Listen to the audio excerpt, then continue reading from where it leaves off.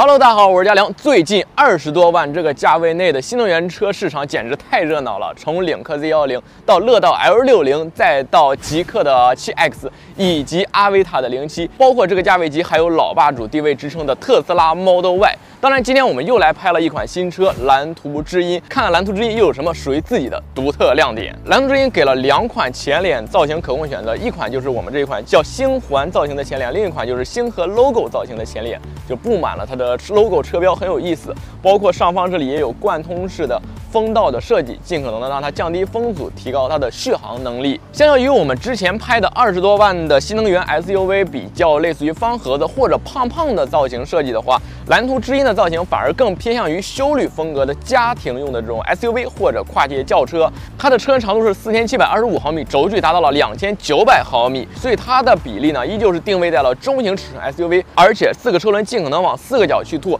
进而得到了百分之七十一的得房率，而且这个得房率在同级车型里也是比较占优势的。好，继续往下面来看，咱们看一下今天拍的这款试装车的轮胎尺寸，搭载的是二五五四五二十英寸的轮胎啊，其实已经到了二十英寸，因为这台车已经是个中型纯 SUV 了，所以整个比例啊，并不显得会有多么的夸张。低风阻的轮毂盖以及这种全黑色的造型，看起来还是非常酷的。侧面来看呢，像隐藏式的门把手，这个好不好用，还得看你的用车习惯。像车顶的行李架依旧是配备的，而且它还配备了无边框的车门。虽然说是单层玻璃，但是这个玻璃的厚度还是非常可观的。C 柱这个位置其实有点像他家的蓝图 Free 啊那一款中大型尺寸的 SUV，做了一个这种类似于游艇设计的造型。包括行李架上方也有银色的这种装饰，看起来非常的精致。而且像它的右后方这里还有个充电口，它也是支持六千瓦的对外放电功能。同时，贯穿式的车尾灯，包括内部这种造型，也是用了这种多点的类似于像素块的设计，啊，并不是一个固定的造型，很有意思，有那种律动的感觉。再看一下它的电动后备箱，虽然说外观来看它是一个偏溜背造型的 SUV，但是它的后备箱实用空间还是比较大的。像它现在目前标准容积是五百二十七升。非常规整，而且两边又有掏空间以及置物的网兜，内部有两个照明灯以及塑料挂钩，还是比较基础的。当然，打开盖板呢，下方还提供了一个七十二升超大的下沉空间，一个暗格。哇，这个空间可以放不少的装备，或者说小号的书包都能放了好几个。而当它的后排靠背四六分比例完全放倒之后，空间可以拓展到一千三百二十八升。所以蓝图知音这台车啊，虽然说外观看着比较矮，比较的跨界，但是它的车内空间真的不可小觑。来到蓝图知音的车内啊，不得不说，现在在千篇一律的新能源车的这种设计里来说，必须得玩点自己的花样，玩点自己的独特性。据说蓝图啊也有一块大屏幕，它的尺寸呢是十五点零五英寸，一看就不是通用屏幕，就得有点花活。两边是这种弧形的设计，而且弧形呢它也有触控功能，左边触控呢是调节屏幕的亮度，右边是音量，同时还可以三指把屏幕往副驾驶滑动。哎，这个时候你会说啊，屏幕给了副驾驶，他长途娱乐有屏幕玩了，有车机玩了，那咱们的仪表呢？往前看，它还提供了 A I G U D 抬头显示，尺寸还是挺大，还是很直观的。同时，在这上方，哎，这个位置还有一小条实体的液晶仪表盘。不过，就嘉良的坐姿来说的话，我的我喜欢方向盘比较低，视野感比较好。那么我方向盘的上方这个地方就会把这个小窄条的仪表盘给挡得严严实实的。所以我今天体验下来，我更愿意用它的 HUD 去看，反而这个屏幕我觉得还可以再去减配掉，可能能降低一定的成本和车价。好，再把屏幕划回来，继续看这台车有还有什么独特的玩法呢？首先在这个屏幕里，这里有一个电动桌板开启，哎，这个副驾驶这就就会弹出一个。带这种比较细植绒的小桌板啊，当然是有个小桌板之后，咱们户外比如说吃个便饭或者办公的话，就非常的方便了。但同时我也想提出一个小建议，这个桌板的开启方式需要在这个屏幕内二级界面一个小按键啊开启。如果在外面直接有个小按钮一摁弹出，我觉得会更方便一些。当然，像这一块屏幕不仅更炫，还能移动这些功能以外，它的芯片也是非常强大的，搭载了高通骁龙八二九五 P 的芯片啊，这个性能芯片放在一个二十万出头的车型里来说，还是比较少有的。而且像五 G 的网络，同时前后排都支持四 G 的语音交互等等等等这些功能吧。然后像这个整个屏幕集成度也很高，空调的快捷操作也都是支持的啊，单指快捷操作都没问题。然后后方就是手机的无线充电，比较丰富的上下两层置物空间，中间扶手打开。开口的话比较小，但是深度表现不错，而且也能连通空调的温度。再说回我的驾驶坐姿，这个方向盘的尺寸啊，我认为还是比较偏大一点点的。三九点的握感还是不错的，下方也是平底的设计啊，感觉这个方向盘有棱有角的。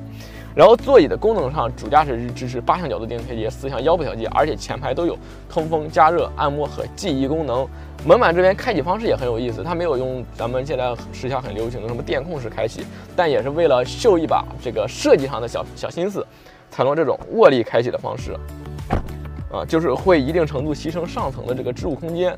头顶呢，这就是自动防眩目后视镜，而且还有一个天幕啊，天幕是有一个遮阳帘的，而且也能看到它这个遮阳板也很有意思，是这种呃半透明的，有点像墨镜的感觉。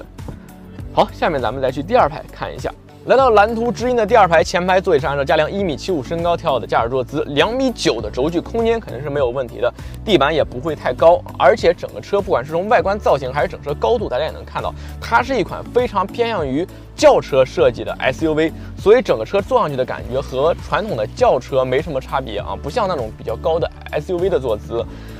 而且座椅的靠背也是有两个角度可调的，我现在就是调了一个非常平缓的角度，这样靠上去之后真的是特别的舒服，身体很舒展，坐垫的这种填充也是很柔软的。然后这样中间这个位置呢，也是给了个扶手，特别的宽，还带个小盖板杯架，这里打开就是一个小平台吧。然后两边也都给了这种现在很多保姆车上都会给你的这个小头枕，很舒适啊。小细节，再来看一下其他的配置，空调的出风口这里啊，左右扫风变成这个。小推杆了，然后下方这里是 USB Type C 充电口，这都是比较基础的。门板这边和前排一样，这种握力的机械式开启方式，下方是置物空间，这里有一个小的挂钩。头顶这一块小天幕就是比较小的，因为它整个车溜背造型还是比较大的，所以到这儿就截止了。但这里头顶这个翻毛皮的顶棚这里还做了一个掏空间，所以身高再高一点的朋友也都没有问题。好，这就是蓝图之音第二排的空间配置表现，下面我们就把它开起来说一下动态体验。好，我现在开上台蓝图知音。我们今天拿到的这台试驾车是 CLTC 标定续航五百七十公里的四驱性能版车型。当然，除此之外呢，还有同电池尺寸下标定续航六百二十五公里的单电机版，以及六百五十公里和九百零一公里的超长续航版车型。哇，九百零一公里这个续航真的是特别的夸张。说回我们这台车，其实它整体的驾驶感受，包括我出坐到这个车里的整体的视野感。带给我的感觉更像是咱们一般开过的纯电轿车，它的视野也没有一般的 SUV 那么的高，整体调的还是比较偏家用化的。其实，在它的这种驾驶偏好里头，我们可以选择它的经济舒适模式，整体加速感觉又是非常温柔的。四驱的性能很难去爆发。当然，除此之外还有一个高能模式，调的高能模式，除了它的加速会更加的灵敏、更提速更快以外，我认为它带给我的一个我个人比较喜欢的就是它的转向的力矩会变得特别的沉，也是嘉良试过为数不多电车能给你做这种偏沉的。转向的回馈的力度有点那种燃油车的味道了啊，但当然，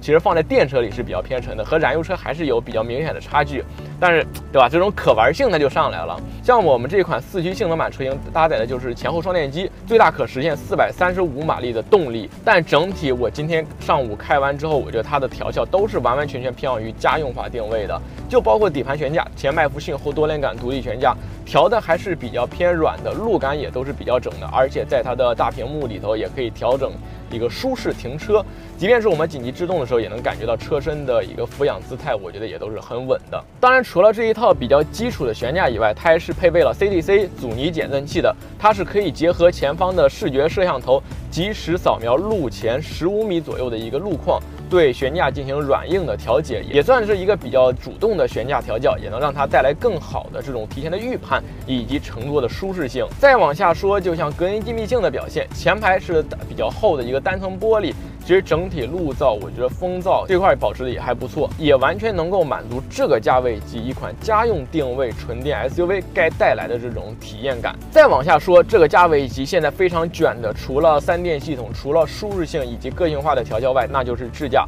蓝图之音它是支持高速 NOA 智驾功能的，它是可以结合高精地图去实现在高速路段的 L2 加级的一套辅助驾驶。好，这就是嘉良对蓝图知音动态方面的试驾感受。最后用几句话总结蓝图知音最吸引我的几大亮点，首先就是最大九百零一公里的续航，全域八百伏的平台，还有一个比较大的车内空间，以及哎很有意思的滑动屏。同时，它还是同价位级少有搭载高通骁龙八二九五 P 芯片的车型。所以这么来看呢，蓝图知音还是非常有自己独特的产品竞争力。好，这就是本期嘉良为大家带来的蓝图知音，我是嘉良，关注我带你看更多新车。